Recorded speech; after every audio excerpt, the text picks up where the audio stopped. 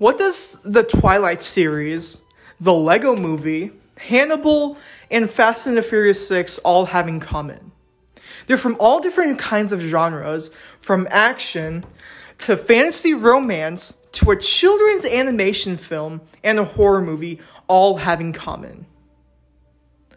All of these films belong in the group that passes the Bechdel test, or officially known as the Bechdel Wallace test.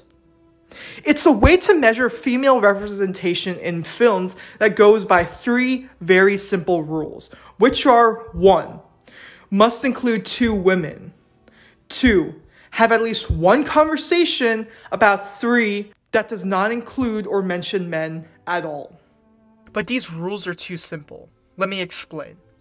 The Bechdel test was never supposed to become this public way to measure femininity in films, due to how simple and how extremely low the bar these rules are. In fact, this so called test was really meant to highlight the much bigger issues of how male dominated the film industry was. Andi Zeisler, co founder of Bitch Media, wrote of the test Bechdel and Wallace expressed it as simply a way to point out the rote, unthinkingly normative plot lines of mainstream film. It was never meant to be a measure of feminism, but rather a cultural barometer. But how do we get to this point in the modern age where we are still using this test, rather than retiring it and moving on to a more effective one? Who even created the Bechdel Wallace test, and is it even possible to fix it and make it more in depth? I'm going to answer all of these questions in a three part video series that talks about the history of the Bechdel Wallace test, modern use and other variations of it, and my answer to a brand new and more in depth version of the old Bechdel Wallace test. I'm Pearl, and I'm going to fix the Bechdel test. But first, let's talk about who Alison Bechdel is and how she changed femininity in films and media forever. Alison Bechdel was born in Lock Haven, Pennsylvania on September 10, 1960, and grew up in Beech Creek. At the age of three, she started drawing, and it was here that she realized that she drew figure after figure with a disregard of background, but realized that all she drew were male figures. Growing up in the 60s, she became aware and said, boys, even when they were bad, were good, and when girls were bad, they were really bad. I grew up in the 60s, in the early 60s. I started noticing this incredibly sexist world where women were Beaver Cleaver's mother. Um, she was an idiot, or on Thorazine, or both. It just was not something I related to at all. And again, in the children's book illustrations and comics I was seeing as a kid, the you know the female characters were always somehow not generic. They weren't regular. They were always female people as opposed to people. To cope with this, she basically rejected her female identity by keeping her hair short and playing among boys. And she also kept a small pocket knife. She then attended high school where her parents, Bruce and Helen, taught English literature at. It wasn't until after graduating from college that she started drawing comics more seriously. It was also during college that she finally became her gender neutral self. After college, she eventually got a job as a word processor for several years, then worked as a production manager for the weekly Equal Times, after being rejected by several art graduate programs. It was sometime between these jobs that she discovered Howard Cruse's Gay Comix, which gave her a push to create her own comic. At the behest of a friend, Alison Bechdel submitted a drawing to WomaNews, a monthly feminist newspaper, where her friend interned at. It was here where she changed the world of media forever. The comic strip she submitted garnered acclaim at WomaNews when it was published in 1983. From a drawing in the margin of a letter to a friend to filling sketchbooks with drawings and captions, Dykes to Watch Out For was created. It was here where the Bechdel test was born. This comic strip that Alison Bechdel submitted to a feminist newspaper from the push of a friend changed the landscape of media forever. Dykes to Watch Out For presents The Rule with thanks to Liz Wallace. Want to see a movie and get popcorn? Well, I don't know.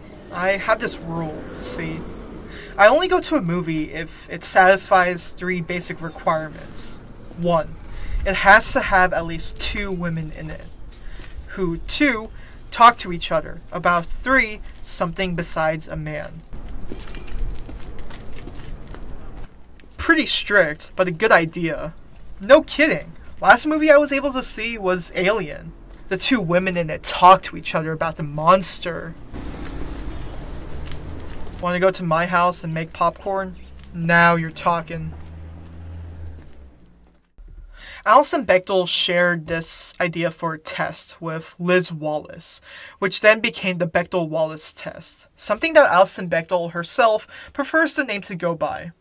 The character in the comic only watches movies that pass the Bechdel Wallace test, and the last movies she was able to watch was Ridley Scott's Alien from 1979.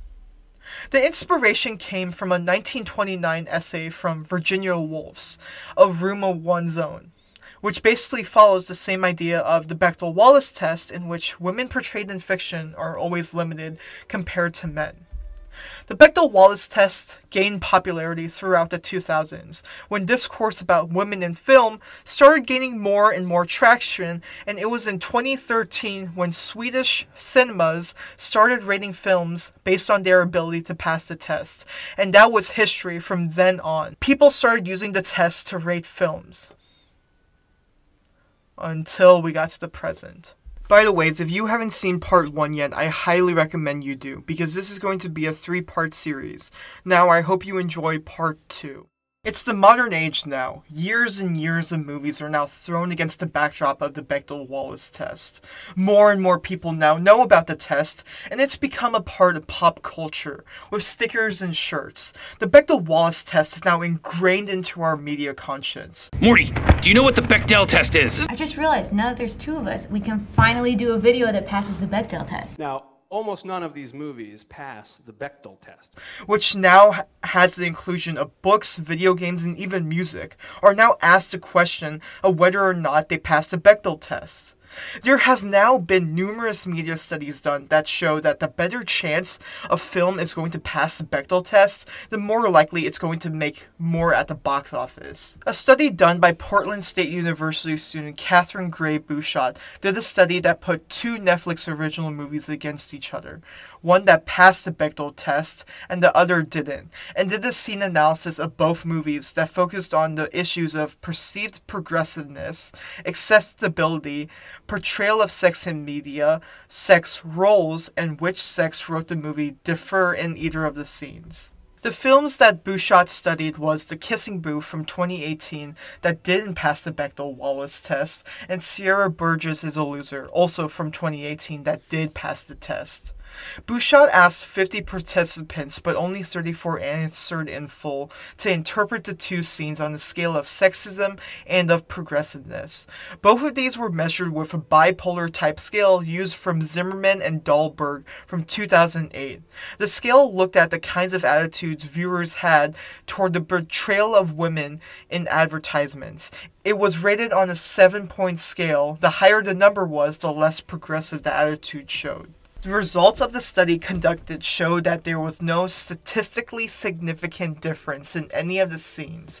Showed that when it came to progressiveness, sexism, or acceptability.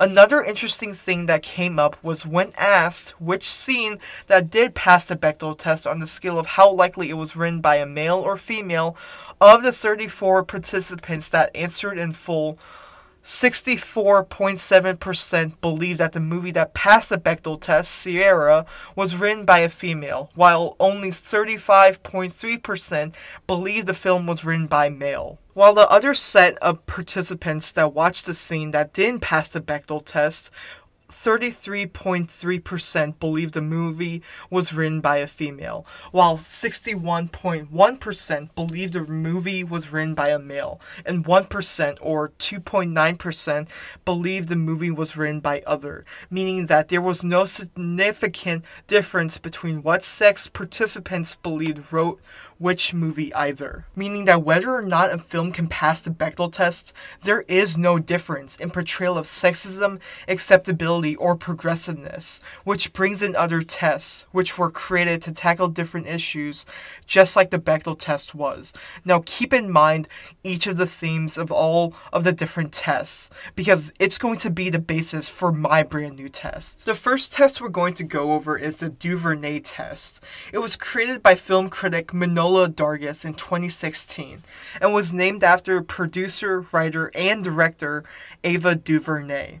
This test encourages both filmmakers and screenwriters to include complex POC characters with their own plot lines, fully developed personhood, and narrative significance. One of a, a writer that I really love, Manohla Dargis, uh, at the New York Times decided that she was going to name this test after me.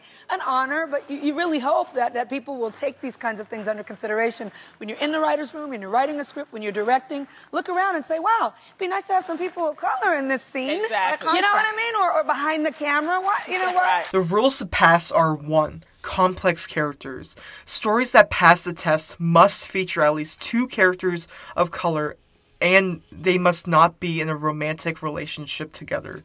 These characters must have complex lives rather than existing only in relation to white characters. 2. Names. The people of color in the story must have names. And 3. Speaking parts. Characters of color must have dialogue, and their conversations must not be about supporting a white character.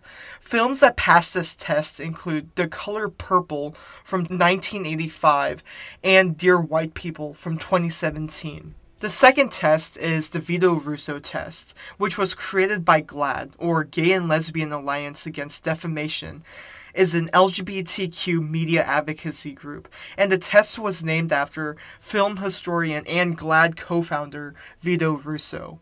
This test highlights the importance of including a fully realized, consequential LGBTQ plus characters. The rules to follow this test are as follows. 1. At least one character must be identifiably bisexual, lesbian, gay, and or transgender. 2. This character cannot be solely defined by their sexuality or gender identity. And 3. This character must be integral to the plot to the extent that if they were removed, it would have a significant effect on the story. The movies that passed this test include But I'm a Cheerleader from 1999 and Brokeback Mountain from 2005.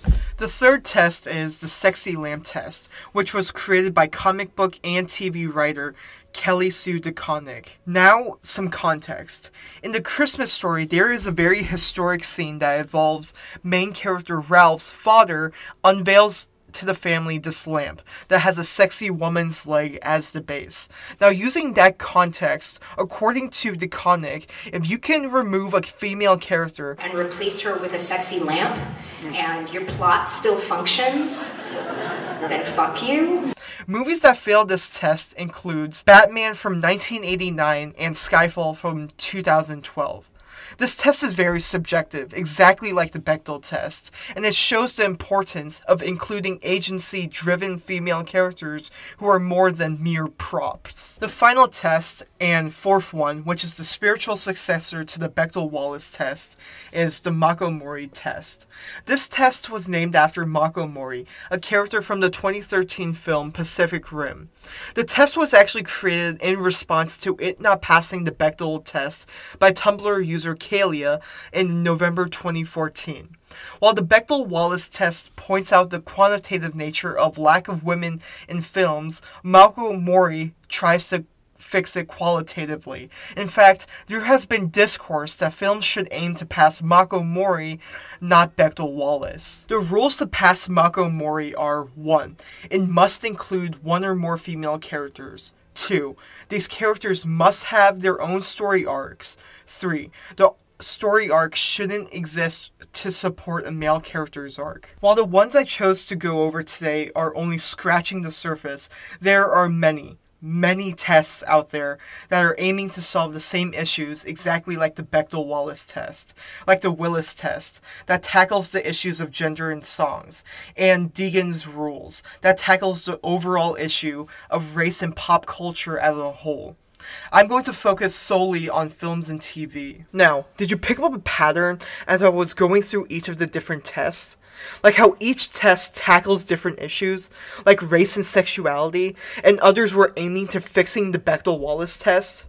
Mako Mori, Vito Russo, Duvernay, all of these tests were created to fix the criticisms of the Bechdel Wallace test. And while these tests themselves have issues, it is a better representation of race and sexuality than the Bechdel Wallace test. So, why is the public media still writing stories linking all of these tests back to the original when it's trying to fix the Bechdel Wallace test?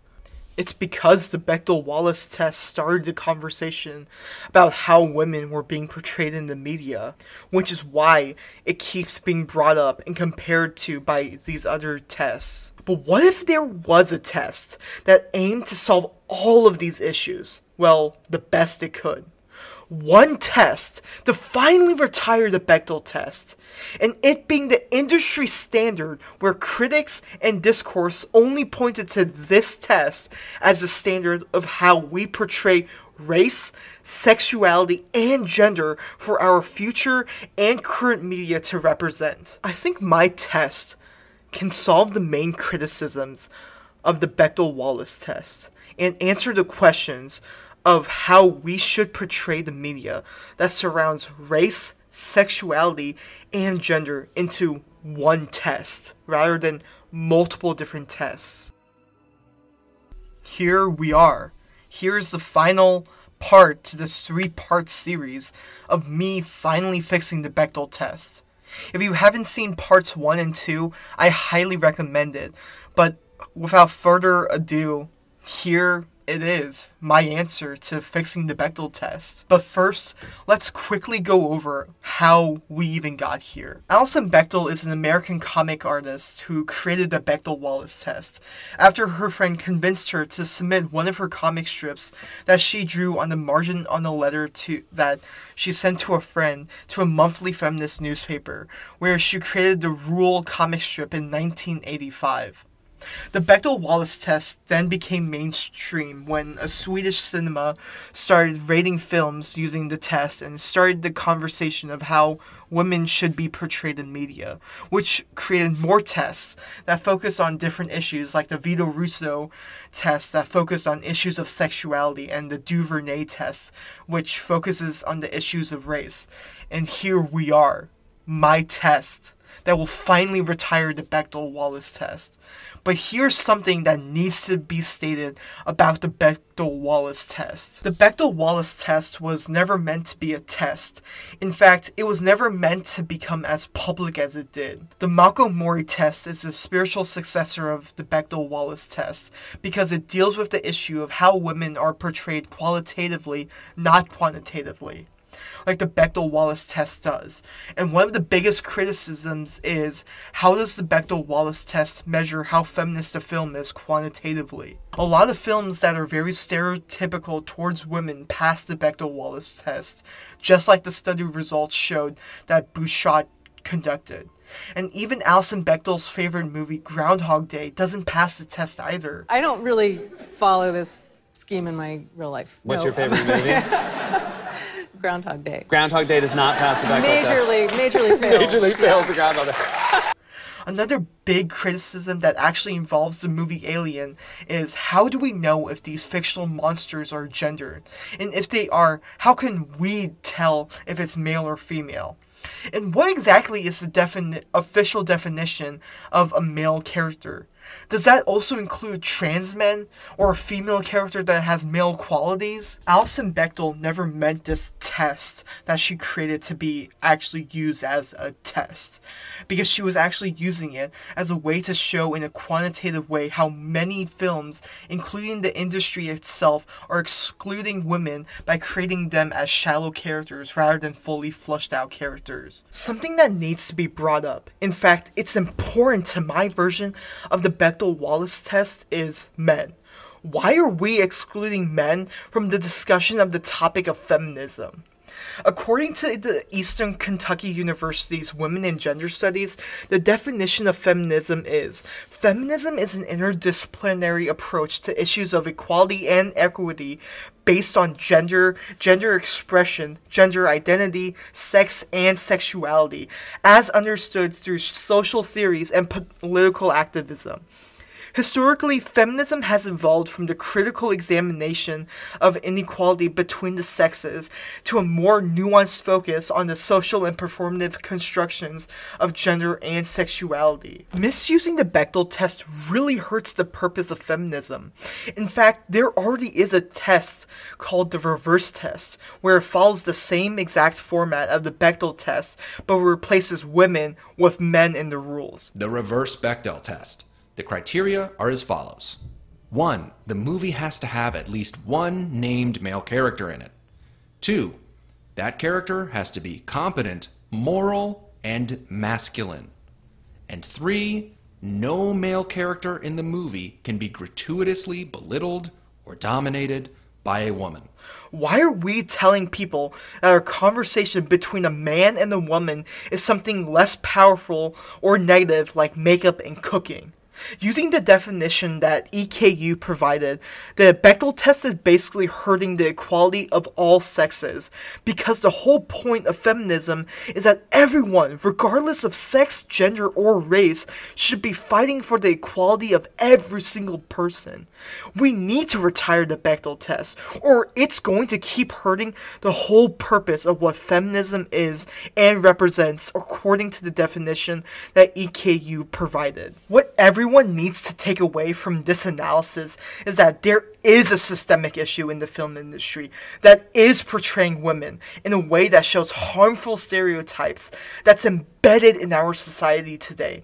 Not if a piece of media passes a test that was never meant to be taken seriously or regarded as an actual test in the first place. Even Alison Bechdel said that it was never meant to be taken seriously. Another important distinction to make is that the Bechdel test is not a way to evaluate whether a film is feminist. It was never meant to be a measure of feminism, but rather a cultural barometer. So, you're asking yourself, what is my answer in regard to fixing the Bechdel test? Well, these are the requirements. If you disagree with my answer, that is completely okay because this is my personal research from reading research papers and watching many, many videos about the Bechdel Wallace test. My definition of feminism is different from everyone else's, and disagreement is fine, and it's completely normal. My rule is to a brand new official Bechdel Wallace test must follow these requirements. 1. Must include a POC. 2 must include someone who is a part of the LGBTQ plus slash trans community. 3. Cannot include gender stereotypes. 4. Each character must have a well developed storyline. 5. Can include a character with any kind of disability, but cannot be portrayed in a harmful way. And 6 can include a conversation with a man, but it must be about another woman that is productive that does not include sexual or romantic intentions. I.e., if a conversation is taken out of the film and the rest of the film cannot proceed without it, it passes. You're probably asking yourself, are you serious? Does any media out there even fall under my set of new rules? If you've been paying attention to the B roll I've chosen, it fits into my new rules. April 8th, 2022. Everything, everywhere, all at once. A science fiction film that shatters every multiverse possible and shatters my new test that everyone is a trope test. What I'm asking for is the bare basic for how women should be portrayed in media, and honestly, how everyone should be portrayed in media. Hence the name Everyone is a Trope which is exactly what Everything Everywhere All at Once delivers to us, the viewers. A strong, fully fleshed out character that has layers, that shows us how she functions.